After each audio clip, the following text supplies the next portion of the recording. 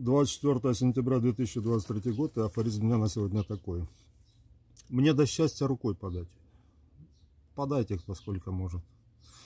Написал я 20 февраля 2011 года эту сентенцию, или, наверное, даже self-fulfilling prophecy. Так, по-моему, это по-английски звучит. Самосбывшееся пророчество, давлеющее над самим собой. То есть уже через три года я в полном соответствии со своими заказанными желаниями оказался возле города Счастья в блиндажах в составе 92-й бригады с мышами по лицу, окопами грязью и плесенью в окопе в блиндаже.